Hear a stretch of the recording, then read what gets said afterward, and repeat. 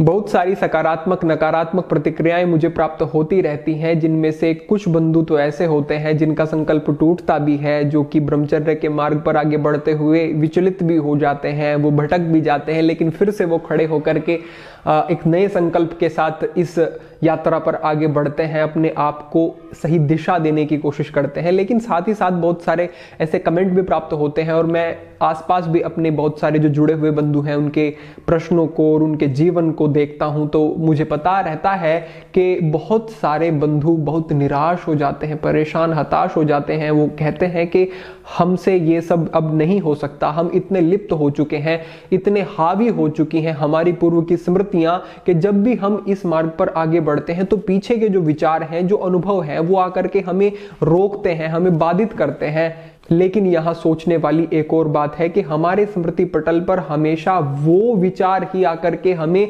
भ्रमित क्यों करते हैं जो कि उस अनुभव से जुड़े हुए होते हैं। वो विचार हमारे मन में क्यों नहीं आते? जब हम इन क्रियाओं में लिप्त होने के बाद अपने आप को बहुत गिरा हुआ, अपने आप को संकुचित और अपनी ऊर्जा का क्षय हुआ नाश हुआ सा अनुभव करते हैं। वो अनुभव अगर हम उस समय पर जागृत कर लें, जिस समय पर हमारी इच्छाएँ, हमारी काम इच्छाएँ हमें उस तरफ़ ले जाने की कोशिश कर रही हैं तो निश्चित रूप से हम इनसे बच सकते हैं। तो बहुत ज़्यादा ज़रूरी है कि जब भी आप अपने संकल्प से हटने लगें, अपने संकल्प से गिरने लगें तो उस स्मृति को विकसित करें।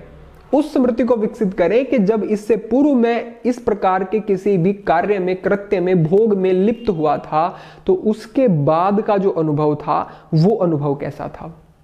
अगर उस अनुभव को आप ठीक प्रकार से याद कर लेंगे तो आपको स्पष्ट उत्तर प्राप्त हो जाएगा कि कितनी ही बार मैं भोग में लिप्त हुआ हूँ, लेकिन किसी भी, एक भी समय ऐसा नहीं हुआ है कोई जिसमें मुझे इन क्रियाओं से बहुत ऊर्जावान अनुभव हुआ हो, बहुत सकारात्मक अनुभव हुआ हो, मैं और अधिक ऊर्जा से आगे बढ़ने में सक्षम हुआ हूँ। इसके विपरीत हमेशा मैंने गिरा हुआ, हमेशा मैंने अपने व्यक्तित्व और अपने विकास में कहीं ना कहीं अवरोध ही अनुभव किया है। यदि आप इस स्मृति को विकसित करेंगे और इस स्मृति के आधार पर इसका अवलंबन लेके आगे बढ़ेंगे तो निश्चित रूप से लाभ होगा। योग दर्शन में भी महर्षि कहते हैं कि वितराग विषय व चित्तम वो क्या कहते हैं कि जब भी जीवन में आप भटकने लगे, वितराग, जो वितराग पुरुष हुए हैं, जो सब राग आशक्ति से मुक्त होकर के जीवन में आगे बढ़े, उनका चिंतन करो तो उनके चिंतन से क्या होगा?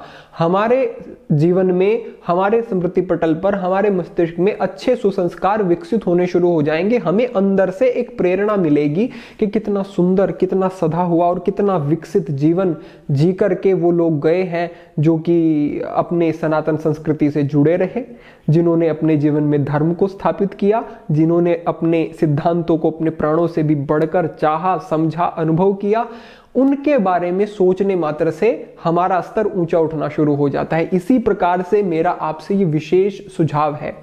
हम इसीलिए अपने संकल्पों से गिरते हैं कि हम स्मृति को खो देते हैं। उस स्मृति को खो देते हैं जो कि हमें उस तरफ़ जाने से रोक सकती है। जब उस भोग में लिप्त हुए थे तो आपने बहुत सारे संकल्प किए होंगे। हर एक व्यक्ति यही कहता है कि, मैंने बहुत संकल्प करता हूँ मैं कि अब मैं इस तरफ़ नहीं जाऊँगा। ये मार्ग मेरे लिए नहीं है। मुझे अपने जीवन में आगे बढ़ना है। मुझे अपने जीवन को सुंदर बनाना है। मुझे अपनी ऊर्जा को सही स्थान पर लगाना है। ऐसे बहुत सारे संकल्प। लेकिन वो सारे संकल्प की स्मृति रुक जाती है, दब जाती है और विकसित हो जाती है। वो केवल एक स्मृति के वो क्षणिक जो कुछ सेकंड्स का आनंद आपको उसमें मिलता है। वो इतना हावी हो जाता है कि आपके मस्तिष्क स्मृति और आपके विवेक को ढक लेता है। तो ऐसा नहीं होने देना है। इसके लिए चाहे आप कोई भी रास्ता अपनाए, आप कहीं पर लिख के रख सकते हैं। कभी भी ऐसा हो तो आप उसे दोबारा अनुभव को जो का त्यों पढ़ भी सकते हैं कि मैंने तब ये अनुभव किया था, ये संकल्प किए थे, मैं उन अपने संकल्पों को अब दोहराता हूँ। और इन संकल्पों के आधार पर अब मैं इन चीज़ों से बचता हूँ। बहुत ज़रूरी है और बहुत लाभदायक भी हो सकता है। तो उन स्मृतियों को विकसित करना बहुत ज़रूरी है। जैसे कि कुछ समय से मैं निरंतर विद्यार्थियों के लिए ये वीडियोस ला रहा हूँ तो ये भी विद्यार्थियों के लिए ही विशेष संदेश है। क्योंकि इससे अगर आप बच जाते हैं, अगर ब्रह्मचर्य में स्थित हो जाते हैं तो आप अपने समय का बहुत बड़ा हिस्सा बचा लेंगे। क्योंकि कोई एक ऐसा नहीं है कि केवल एक क्रिया है, वही समय आपका खराब हो रहा है। ऐसा नहीं है। बहुत बड़ा हिस्सा समय का खराब हो जाता है। चाहे आप फिर अगर ऐसी भावना से प्रेरित होते हैं तो चाहे आप किसी से बात करें, अश्लील वार्ता करें या फिर आप कोई फ़िल्म इत्यादि देखें, कोई चित्र देखें, कोई पुस्तक ऐसी पढ़ें, कोई भी तरीका हो सकता है आपका तो आप अपने घंटों घंटों उसमें व्यय कर सकते हैं। ऐसे बहुत सारे बंधु आते हैं कि हमारा बहुत सारा समय लग जाता है। बहुत सारा समय कैसे लगता है? इसीलिए समय लगता है कि उस अनुभव को दीर्घ करने की कोशिश करता है व्यक्ति निरंतर। जो क्षणिक है, आपको भी पता है, सबको पता है कि क्षणिक है, लेकिन उसको दीर्घ कैसे किया जाए? वैसी क्रिया में उस चरम अवस्था तक पहुँचे बिना, वैसी क्रिया में निरंतर निरंतर निरंतर मस्तिष्क को लगाए और उससे समय नष्ट होता है, उससे ऊर्जा भी नष्ट होती है। और जो समय आपके भविष्य के लिए लगना चाहिए, वो समय आपका यहाँ पर व्यय होता है। तो कितनी बड़ी क्षमताओं को आप खो रहे हैं, जो शारीरिक नुकसान है, जो मानसिक नुकसान है, वो तो है ही। जो आध्यात्मिक है, जो आपके स्वाध्याय का, आपकी पढ़ाई का, आपके बहुत सारी चीज़ें सीखने का, या फिर आप बिज़नेस करते हैं, या कुछ भी ऐसी चीज़ करते हैं जिसमें आपको निरंतर सीखने की और सृजनात्मकता की आवश्यकता है, वो आप फिर नहीं कर पाएँगे। बहुत ज़्यादा ज़रूरी है, इस तरफ़ ध्यान दें, उस स्मृति को विकसित करें जो आपको साध सकती है। इससे थोड़ा सा आगे बढ़ते हुए, क्यों और क्या कारण बनता है ऐसा? जो कि हमें नहीं रहने देता सात्विकता की तरफ़। कारण एक सीधा सा है कि निरंतर अपने आप को आकर्षक दिखाने का हमारे मन में जो भाव है। ब्रह्मचारी को क्या चाहिए? उसे चाहिए एक सात्विक जीवन शैली। उसे चाहिए कि उसके मार्ग में कम से कम अवरोध हो। अब अगर एक व्यक्ति ब्रह्मचर्य का अनुष्ठान करना चाहता है और अवरोध को आकर्षित करता है कि अवरोध मेरे सामने आए, मेरे रास्ते में आए, मुझे रोकें अब इसका कारण तो सीधा सा यही है ना कि हम इतने सुंदर कपड़े पहनने की कोशिश करते हैं, अपने आप को इतना आकर्षक दिखाने की कोशिश करते हैं, ऐसी मेरे पास वस्तुएँ हो जो कि आकर्षित लगें।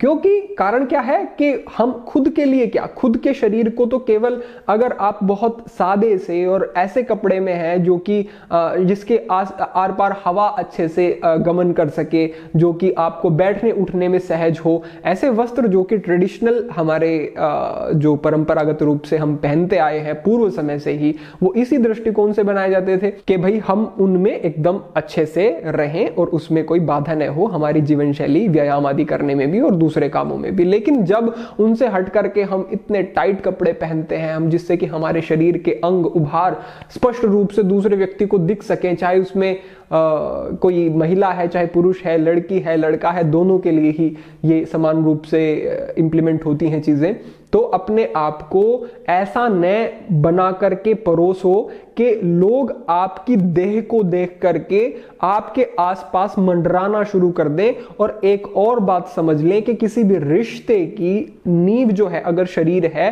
तो वो रिश्ता लंबा चल ही नहीं सकता, क्योंकि शरीर के भोग की भी एक सीमा है। समझो, शरीर का भोग निरंतर नहीं कर सकता व्यक्ति। कितना भी काम इच्छाओं से पूरित भरा हुआ व्यक्ति है, वो भी निरंतर चौबीसों घंटे संभोग आदि क्रियाओं में या फिर इन सब कार्यों में लिप्त नहीं रह सकता। क्षमता है शरीर की, एक बार, दो बार, तीन बार, चार बार, दस दिन, पंद्रह दिन, वो भी ये कहेगा कि बस अब और नहीं हो सकता। उसका शरीर ही उसे कहेगा कि अब क्षमताएँ खत्म हो चुकी हैं। तो शरीर की एक सीमा है, वो बहुत जल्दी पूरी हो जाने वाली है, बहुत लंबा समय भी उसमें नहीं लगता है। तो जो संबंध शरीर के आधार पर ही बनते हैं, वो बहुत जल्दी खत्म होते हुए दिखाई देते हैं। मैं अपने आसपास परिवेश में, संबंध, संबंधों में और बहुत ज़्यादा समाज में ऐसा देखता हूँ कि जो देह आधारित संबंध हैं, वो बहुत जल्दी समाप्त होते दिखाई देते हैं।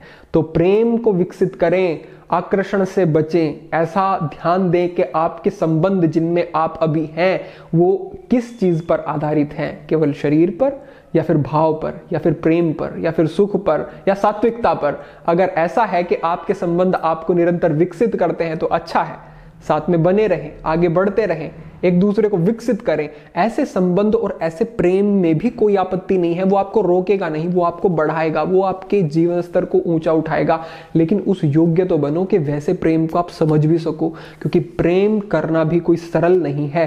प्रेम अगर वास्तविक है तो आप डर जाएँगे उससे, क्योंकि उसमें तो बड़ा त्याग है, उसमें तो बड़ा संयम है, उसमें तो बड़ी सात्विकता है। वो तो आपको चाहिए ही नहीं, आपको तो शरीर चाहिए और शरीर वहाँ पे मिल नहीं रहा है। तो ऐसा प्रेम तो आपको चाहिए नहीं। तो आप प्रेम के लिबादे में आकर्षण को लपेट करके अपने आप को संतुष्ट न करें। वास्तविकता में जिए, वास्तविकता को समझें तो अपने जीवन शैली को कहने का अर्थ सीधा सा यही है कि जितने भी विद्यार्थी हैं, सबसे पहले उस स्मृति को विकसित करें जो स्मृति आपको साधना की तरफ़ लेकर के जाती है। बाधक नहीं है जो आपको साधती है, जो आपको इन सब चीज़ों से दूर रखती है, इनमें फंसाती नहीं है।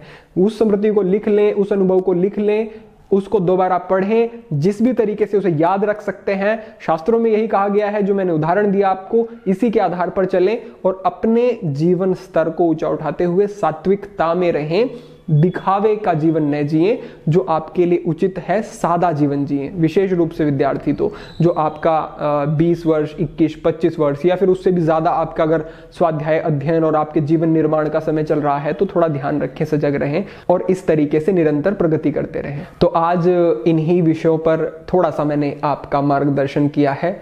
कुछ बंधुओं का ऐसा भी कमेंट प्राप्त होते हैं कि वीडियोस बहुत लंबी हो जाती हैं, लेकिन वास्तविकता यह है कि मार्गदर्शन ठीक उचित प्रकार से हो वो सबसे ज़्यादा ज़रूरी है, प्राथमिक है। आधी अधूरी जानकारी या भाव अगर मैं प्रेषित करूँगा तो वो मुझे संतुष्ट नहीं करता है।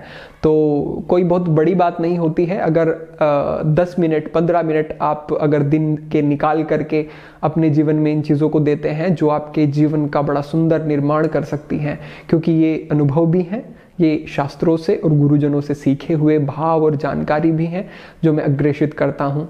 तो आप इन छोटी छोटी चीज़ों को भी अगर लेकर के आते हैं जीवन में तो बहुत सुंदर और विशाल परिवर्तन हो सकते हैं। जो बंधु अभी इंस्टाग्राम पर नहीं जुड़े हैं इंस्टाग्राम पर अवश्य जुड़े। वहाँ पर भी आपको निरंतर जानकारियाँ और छोटी छोटी से टिप्स और बहुत सारी चीज़ें प्राप्त होती रहेंगी। तो आज के लिए हम इस विषय को यहीं पर समाप्त करते हैं। सभी के लिए प्रार्थना, सभी के लिए मंगल कामना। ओम नमः शिवाय।